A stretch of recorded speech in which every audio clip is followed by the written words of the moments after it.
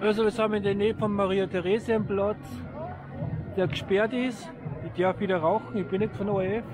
Nee. Und ein paar Leute sind gekommen, es wird sich sicherlich keiner etwas absagen haben lassen. Und somit staut es jetzt mehr auf den Straßen als auf den Plätzen. Weiß nicht, ob das so clever war, äh, die Plätze zu untersagen, wo man die Leute jetzt auf die Straßen drängt dafür. Aber naja, so wird man gesehen, das ist die Hauptsache.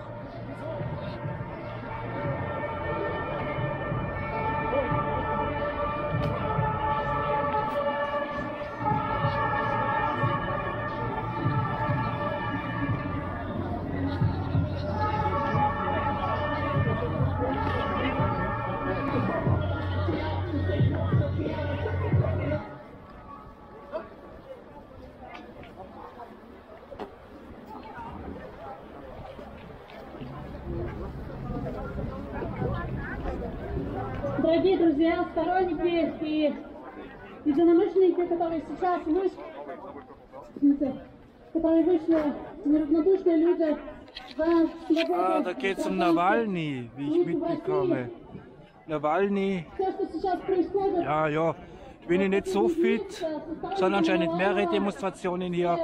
Nawalny geht um einen Russen, запугивание, war in der Politik tätig, это все äh, mag nicht so gern Putin, darum macht er am Nationalfeiertag zu Russland, macht er dann auch über die Demos.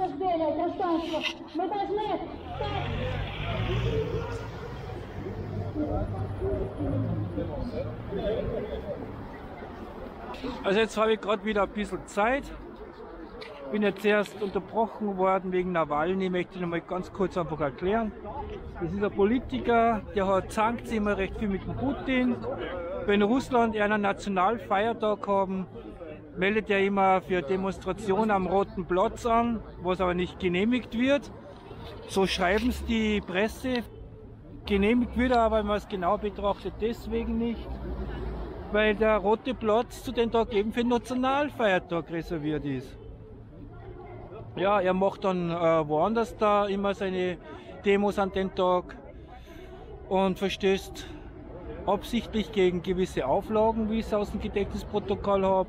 Und dann deswegen sitzt er dann aber im Gefängnis ein, jährlich. Jährlich sitzt dann eben seine Haftstrafe ab, die wir wegen Verwaltungsbußen, wenn man so auf gut Deutsch sich einheimst. Aber recherchiert das selber noch, das ist nur jetzt so, ich habe das nicht gut studiert, hab's gerade selber gemerkt. Wenn ich mich geirrt habe, bitte unten in die Kommentare schreiben.